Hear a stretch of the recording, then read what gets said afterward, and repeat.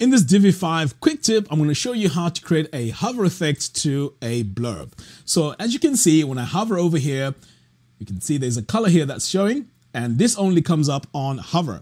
Let's go ahead and recreate this in Divi 5. So over here, we're going to go ahead and click on this plus button and add our blurb module. So here it is. I'm going to select it. And then next, I'm going to do a few customizations here. We're going to head over to the design tab.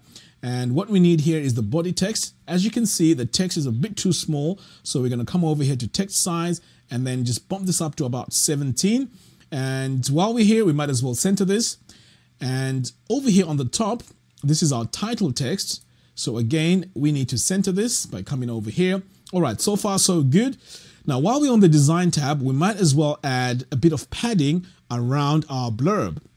So we're going to come all the way down here to spacing and we are going to add 2 rem and this needs to be applied to all the sides like that. And notice that I'm clicking on this chain icon so I can apply the values pretty much on either side. All right, so with that all selected, the next step now is to head over back to our content.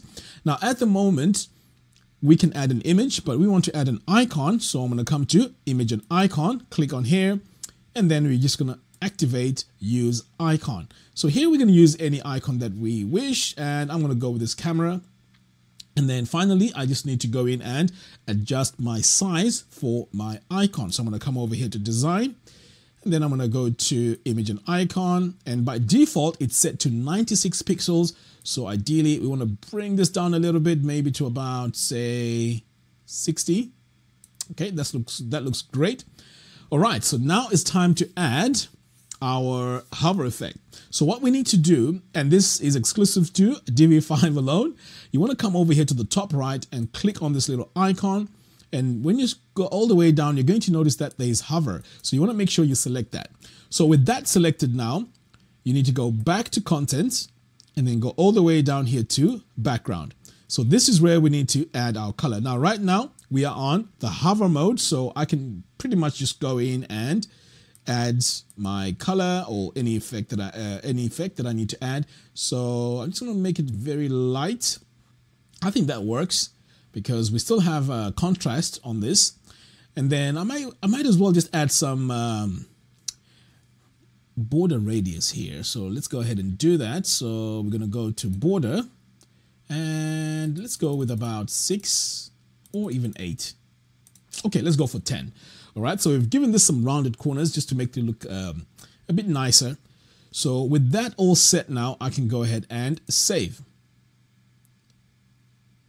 The next step now is to preview this. So I'm going to come over here, click on preview, and now it's opened up in a new tab. So check this out. When I hover now, you notice that we have this. Now I have another quick tip I want to give you straight away.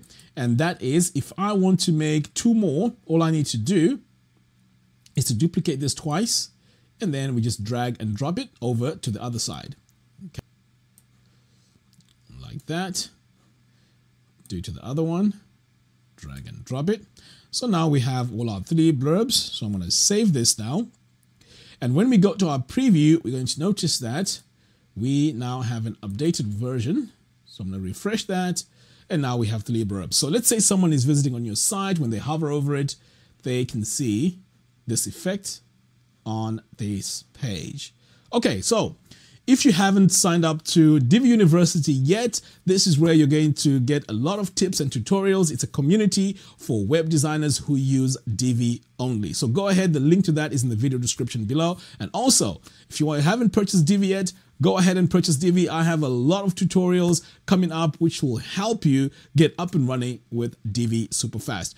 Link to all of that are in the video description below. Until next time, thanks for watching and I'll see you in the next one. Take care.